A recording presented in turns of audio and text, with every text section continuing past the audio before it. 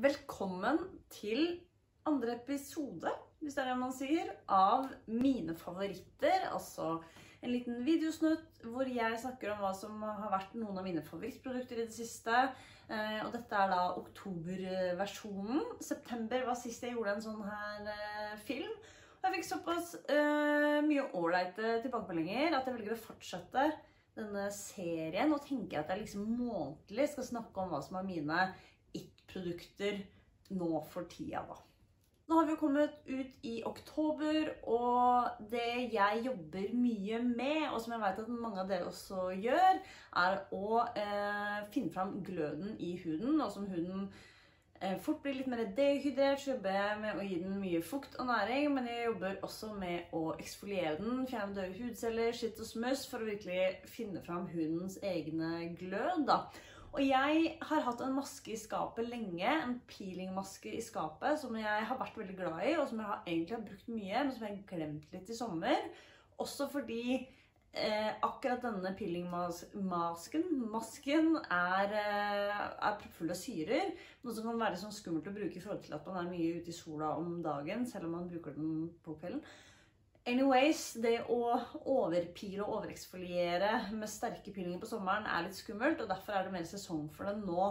Og eh, en bekjent av meg, ei som jeg følger og som inspirerer meg mye, har snakket mye om den masken i det siste. Hun heter Anne Marte Widway, og denne masken eh, er altså så god. Og nå som hun har pratet om den igjen, så har jeg også kommet på maska jeg da har hatt stående i skapet, begynt å bruke den, og gjort det nå regelmessig i noen uker, og jeg elsker den. Jeg elsker effekten av den. Jeg elsker at den er kjapp å bruke. Jeg elsker alt. La meg vise hvem det er før jeg sier noe mer om den. Peelingmasken jeg snakker om er fra e-cooking og ser sånn her ut. Kommer på en krukke, og den er proppfull av syrer, av AHA-syrer, salicylsyre, melkesyrer, som er med på å eksfoliere bort døde hudceller og virkelig finne frem gløden i huden, og jobber også med teksturen i huden, eh, og gjør at huden blir eh, silkemyk og glatt etter bruk. Dette er jo da en, eh, hva skal jeg si, det høres skummelt ut, eh, men man skal ha respekt for den, og respekt for tiden som det står at den skal være på. Ikke bruk den flere ganger i uken enn det som står, en til tre ganger, og ikke bruk den, eh, la den virke på lenger enn seks minutter. Det man gjør, eller jeg gjør, og det man bør gjøre, er å eh, rense huden, og så bruke denne masken, pensle den på, eller bruke fingrene og ta den på. Pass på å holde unna øynene eh, og andre sensitive områder i ansiktet du måtte ha. La den virke i seks minutter, og så vaske den eh, godt av. Det du vil merke underveis når du bruker en maske som eh, piler ved hjelp av syrer, er at det prikker eh, godt. Og etter du har skylt den av, så kommer du til å være rød i huden. Det er meningen. Du blir rød i huden. Akkurat der du har lagt masken, så blir du rød. Derfor er det helt naturlig å bruke denne masken her på kvelden. Når du våkner dagen etter, så er du ikke rød lenger. Huden er bare glatt og myk og ren og fin. Selvfølgelig etter masken, etter du har skylt den av, så bruker du de vanlige hudpleie. Serum, kremer, hva enn du bruker. Denne masken er 100% naturlig, den er vegansk, eh, og prisen på den er utrolig snill. Jeg skal skrive den i teksten under. Derfor liker jeg den veldig godt, og det er virkelig et sånt produkt. Du bare, du får noe som virker og gjør jobben som den skal gjøre, med ingredienser som er godt kjent for å gjøre den jobben. Til en veldig, veldig god pris. Så utrolig verdt eh, pengene. Eh, men som sagt, er du ikke vant til syrebehandlinger, peelingmasker, så hadde jeg eh, testet den først. Testet den bak øret for eksempel, for å se om du reagerer noe ekstra på det. Og eh, ikke bli skremt av den prikkingen at du kjenner at det virker. Det er riktig. Det jeg i tillegg gjør for å holde på gløden i huden, og for å ikke se helt gjennomsiktig ut, er å bruke selvbruning. Jeg har eh, min favoritt som mange av dere kjenner og vet at jeg bruker, og det er selvbruningsdråper fra Clarins, som ser sånn ut. Eh, nå på høsten så bruker jeg de nesten hver dag. Jeg blander tre dråper i nattkremen min, bruker det på kvelden, og våkner opp med bitte litt farge, bitte litt glød dagen etter. Eh, ved å bruke selvbruningsdråper som det her, så får jeg ikke den derre veldig sånn Nå har jeg brukt selvbruningmaske på meg. Eh, for det er jeg ikke ute etter. Jeg er bare ute etter å ikke se blå ut, liksom. Og da gjør disse dråpene akkurat det jeg vil at den skal gjøre. Disse dråpene heter Radiance Plus Golden Glow Booster. Eh, og disse er til ansiktet. De har også en egen som er til kropp, som du kan blande med body lotion. Dette er en evig favoritt. Jeg har snakka masse om det tidligere. Eh, I mange år har jeg snakket om disse selvbruningsdråpene, og det er den eneste form for selvbruning jeg bruker, er sånne dråper.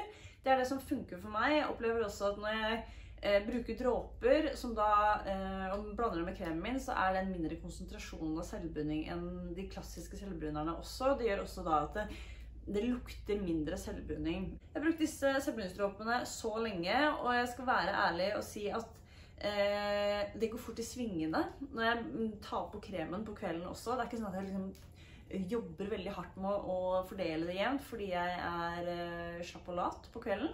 Så jeg bare smører ansiktet, drar det nedover halsen, litt mot nakken også, dekolleté. Eh, men jeg har aldri, aldri fått en eneste skjolde når jeg har brukt disse selvbruningsdråpene. Og fargen også er ikke for oransje for meg og min hudtone, eh, og etter min eh, mening. Så jeg elsker disse selvbruningsdråpene.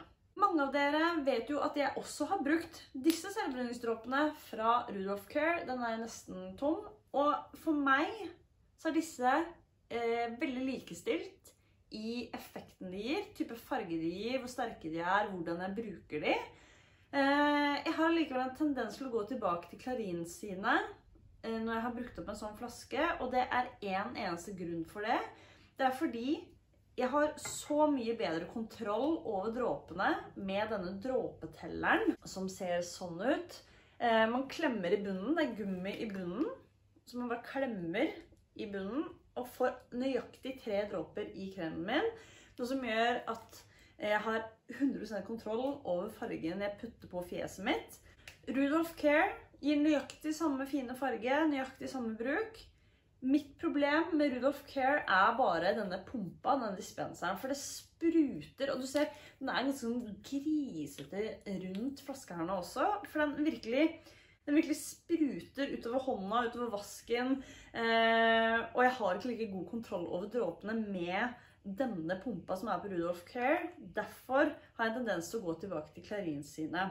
Når det er sagt, så får du sjukt mye mer produkt for pengene her enn det du får i Clarins. Så spørs jo på en måte hva som er viktig for deg.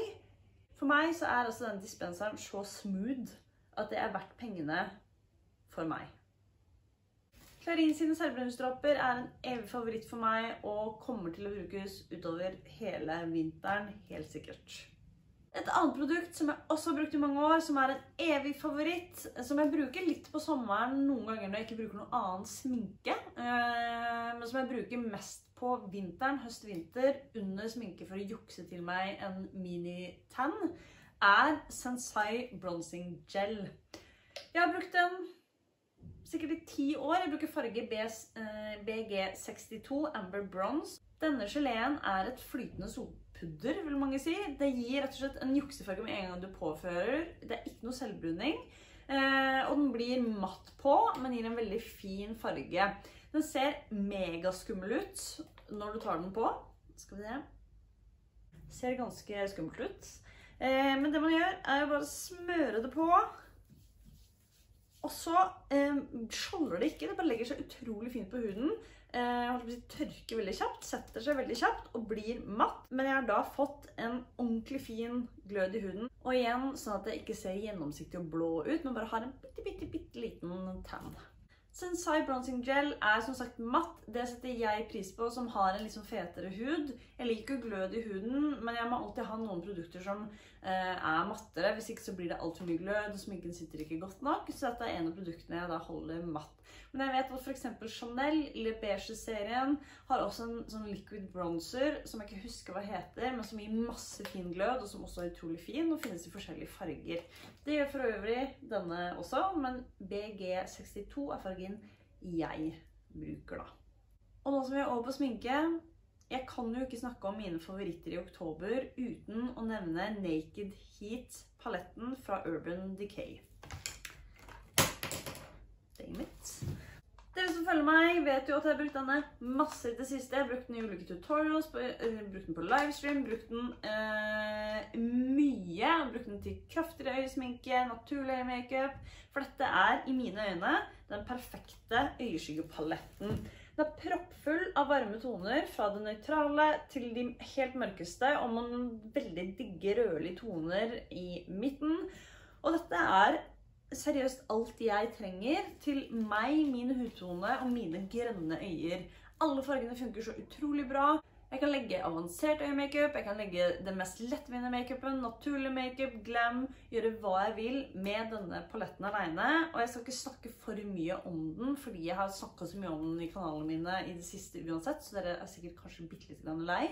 Eh, men er du en sucker for varme toner på øyenskygge, og det passer deg, og du liker det, eh, så hadde jeg virkelig tatt en titt eh, etter Naked Heat som er en slager, og tilfeldigvis nå, og grunnen til at jeg egentlig har oppdaget den igjen nå, eh, er jo at den er på tilbud på Share Value og på Taxfree til 319 kroner, som jo er altså så grisebillig at jeg orker ikke.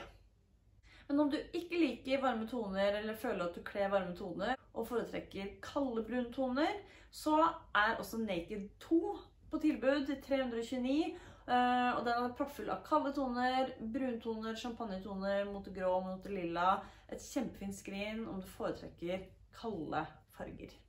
Forrige favorittvideo så snakka jeg om en ny favoritt leppestift fra Nilens Jord, som jeg fremdeles elsker, som fremdeles er en favoritt, og fremdeles alltid er med meg i veska, som jeg bruker veldig mye.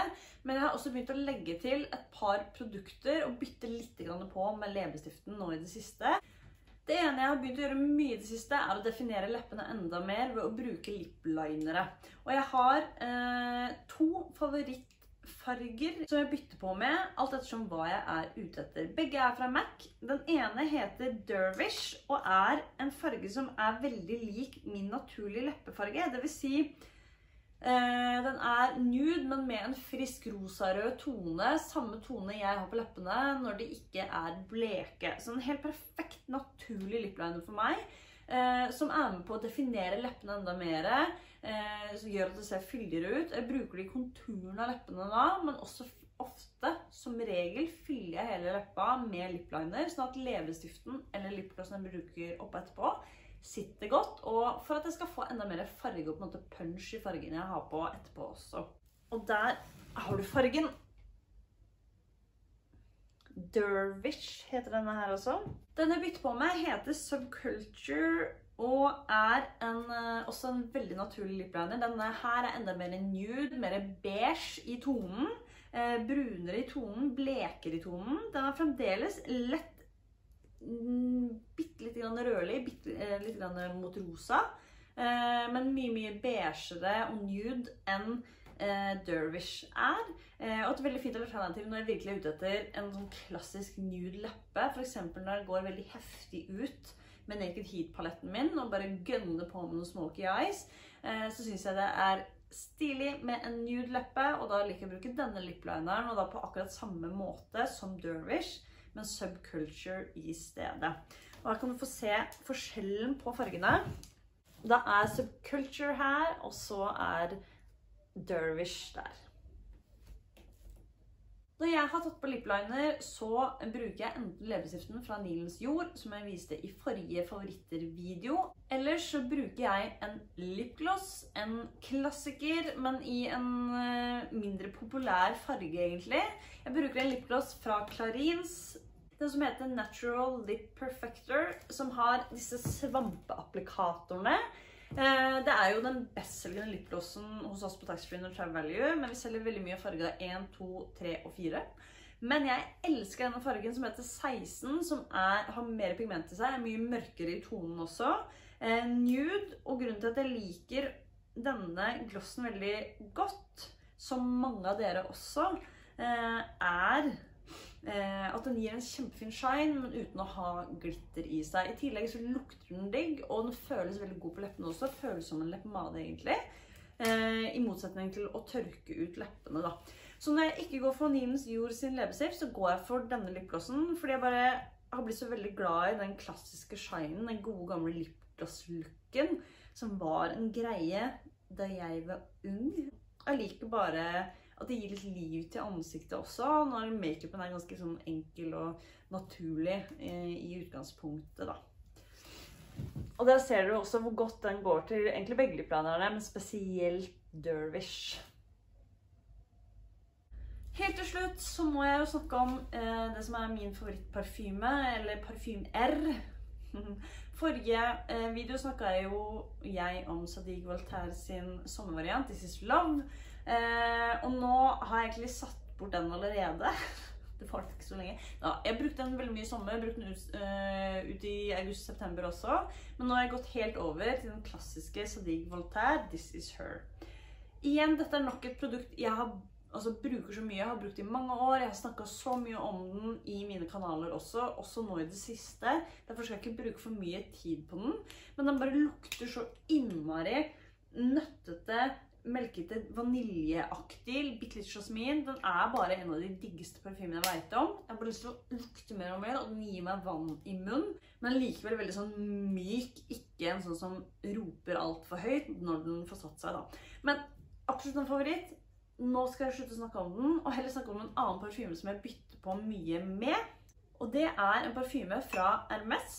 Hermes øh, Cologne Hermes Rhubarb Ecarlat og The Rhubarb Ecarlat. Tror det er sånn det uttales, det er ikke sikkert. Dette er veldig french. Eh, men det er i hvert fall en veldig rabarbra-basert parfyme. Eh, Cologne Hermes betyr at det er en veldig lett type duft. En veldig sånn forfriskende fresh. Eh, jeg elsker denne parfymen, og jeg har også snakka litt om den. Men den her er den jeg Den er så digg. Eh, sorry. Jeg blir så satt ut av parfymen noen ganger. Dette er den jeg bytter på med. Når jeg ikke bruker Sadiq her, så bruker jeg den her. Når jeg vil ha litt mer sånn energi, litt mer positivitet, litt, kanskje hakket mer også fordi den er liksom freshere, så bruker jeg den her. Men den er også digg i min bok. Gir meg også vann i munnen. Den lukter, er jo rabarbra, selvfølgelig. Den lukter mye rabarbra, men satt sammen med røde bær. Men det som gjør den myk og digg, er jo at den har masse masse hvit musk i bunnen som pakker inn de saftige, freshe, litt syrlige ingrediensene til en myk og deilig pakke. Denne parfymen klarer å gi meg følelsen av liksom renhet, freshhet, men samtidig eh, en varme, samtidig som jeg får vann i munnen. Så den gjør flere ting for meg som jeg setter veldig veldig pris på, og som jeg syns passer høsten godt. Så om du er ute etter en parfyme som er for først litt annerledes, og liker de freshe, rene, men også søtlige, eh, sjekk ut Rhubarb Ecarlat. Kanskje den heter det. I hvert fall denne røde. Eh, utrolig, utrolig digg. Og det var det jeg hadde av favoritter denne gang. Jeg håper du setter pris på disse snuttene. Noen av produktene jeg snakket om i dag, har jeg jo snakket om mange mange ganger før. Og det er jo fordi det er mine favoritter på ordentlig ekte som jeg bruker igjen og igjen og igjen. Og kjøper nye av hele tiden. Og Derfor blir det noen ganger litt gjentagende. Men jeg håper allikevel at det er interessant å se. Eh, og om det er noe du lurer på, så bare still spørsmål i kommentarfeltet under. Eller om det er noe annet du vil jeg skal vise frem, så må du gjerne komme med forslag også. Og så ses vi til mine favoritter i november.